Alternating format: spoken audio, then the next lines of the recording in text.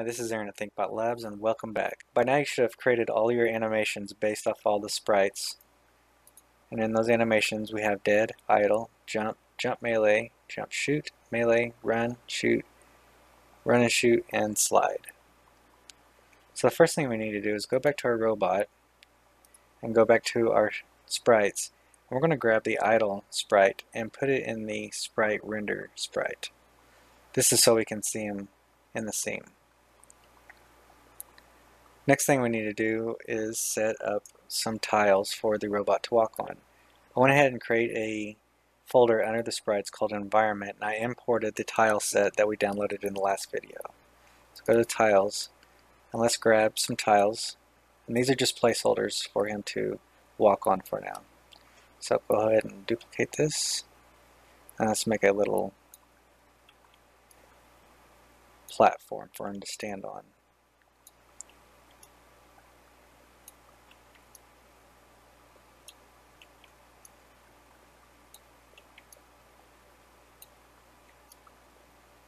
Okay. Go ahead and select all the tiles and we're going to add a component, a box collider 2D. Let's go back to our robot. And let's add a box collider 2D to our robot. And select it and it'll highlight it. Let's shrink it down.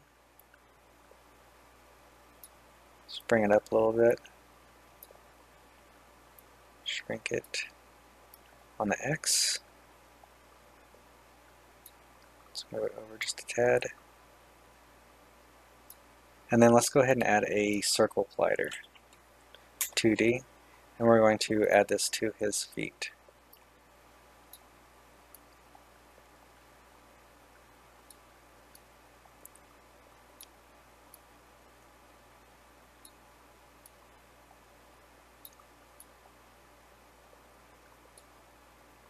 Shrink that box down just a little bit.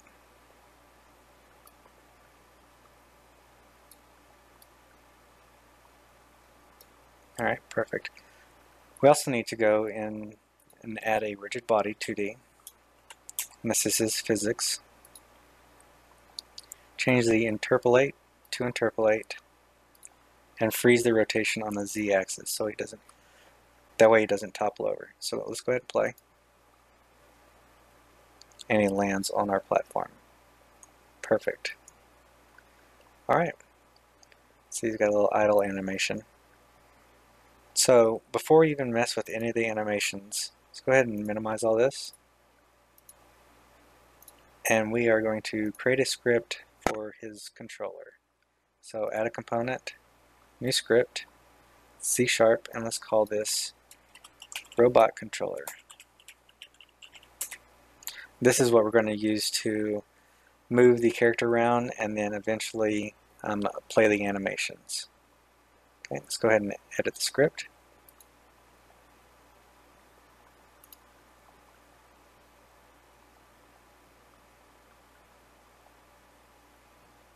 That up.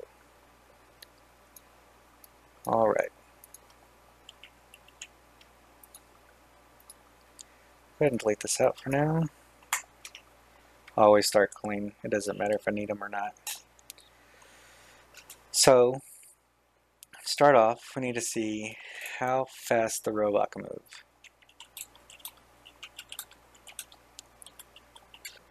This we're going to use a public float um, top speed. And we'll set this to 10. And we also need to say, we need to be able to tell the sprite which uh, way it's facing. So tell the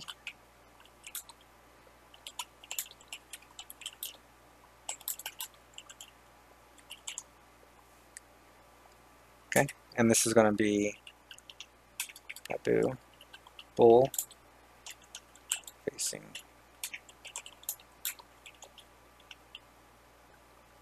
All right. And our fixed update.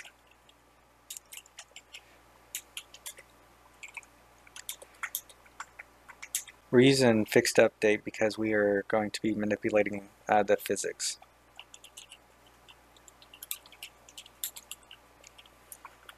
Okay. First we need to get the move direction. So float move equals input dot get axis horizontal.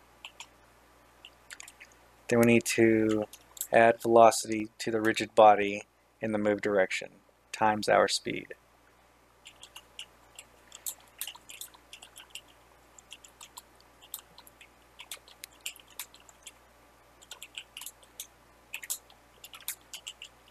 And we do that by get component, rigid body 2D, dot velocity equals new vector 2 move times top speed comma get component rigid body 2D dot velocity dot y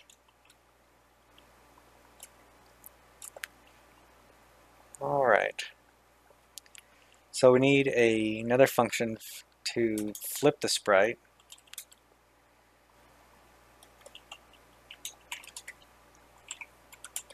if he's facing the opposite direction. So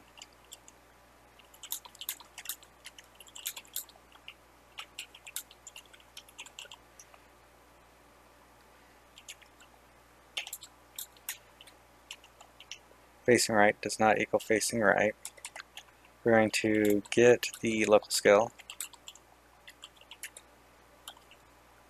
That's going to be a vector 3 transform dot local scale. Then we are going to flip on the uh, on the x-axis the scale dot x times equal negative 1 and then we need to reapply um, that to the local scale. Transform dot local scale equals the scale. So back in our fixed update, let me say if we're uh, facing the uh, negative direction and not facing right, um, go ahead and flip. So we'll say if move is greater than 0 and not facing right, flip. Um, else if the move is less than 0 and we are facing right, flip.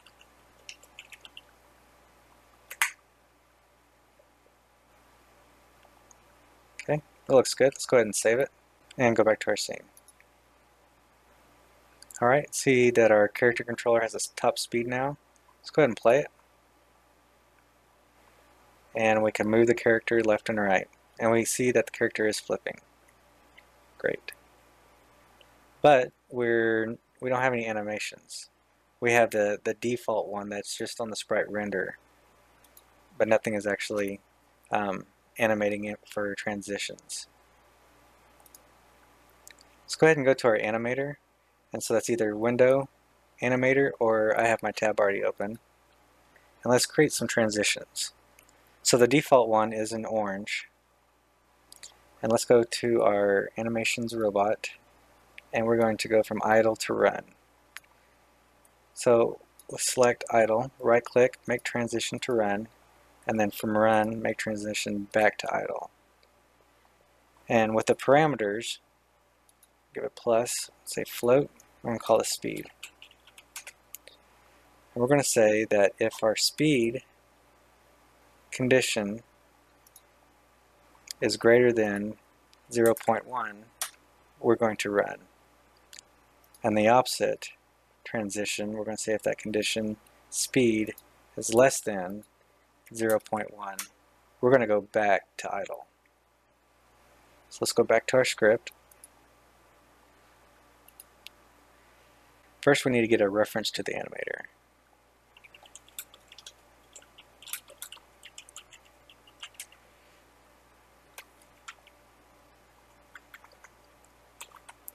It's going to be uh, animator m. And our start, we need to initialize this.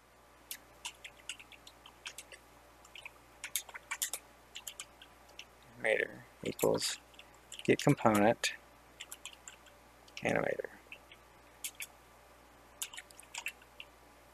Okay. In our fixed update, right after we get the input to move horizontal, and after we tell the uh, rigid body to move in a direction, we'll say animator dot set float speed mathf uh, dot absolute move Okay, and so what this line of code is doing is we're telling our attached animator, our character animator, to set a float to speed based on the amount moved. So our speed is the float value right here, which we're using to transition in between states.